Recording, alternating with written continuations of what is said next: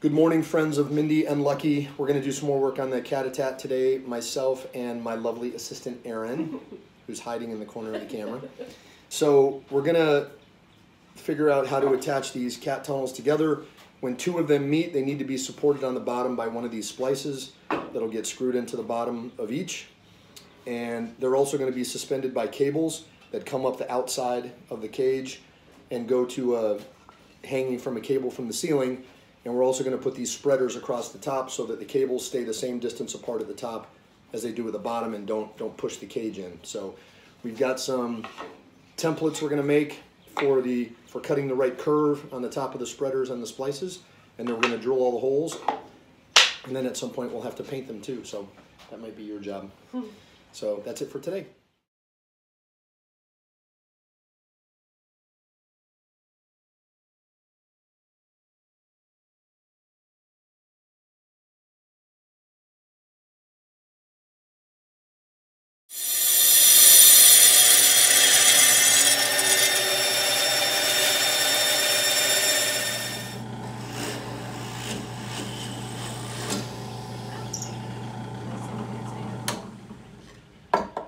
Okay, so we finished cutting the spreaders that are going to go at the top of the cat tunnels. They keep the cables the same distance apart. And uh, so my lovely assistant Erin did all the drilling in the drill press for all the holes on these and all the holes on the splices. I just haven't cut these, rounded these edges yet.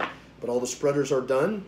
Uh, they're all cut, the corners are rounded, the holes are drilled. Now all we have to do is paint them. So we're going to do that now, and then we'll deal with the splices probably tomorrow.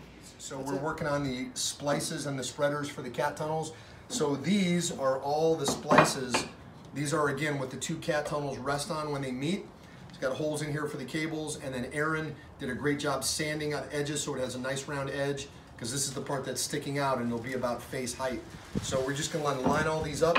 We're getting ready to paint all of them and then these up here in front, these are the spreaders that keep the cable separated at the top at the same uh, distance. So uh, these have been painted on one side already, but we're going to paint the other side. So they're all lined up, and we're getting ready to paint this whole table.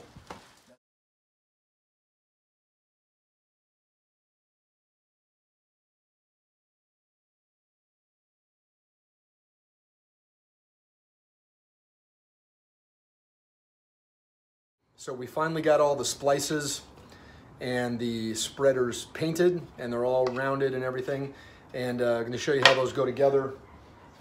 This is one of the cat tunnels and the splices will go with the bottom like this one here. This isn't attached yet, but they'll get screwed in from the bottom. And then the other, uh, the next cat tunnel will join up with it and get attached on the other side. And then this spreader right here, all this does is keep the wire at the same dimension. So this goes outside the, the, uh, the top of the tunnel and then this wire, this is just 1 8 inch galvanized wire. It comes up through the splice, around the outside of the cage, through the spreader on both sides, and then it'll get uh, clamped together at the top, and this is what'll hang these uh, cat tunnels. So that's how this works, and I'm glad all this part is done, and we can move on to the next phase.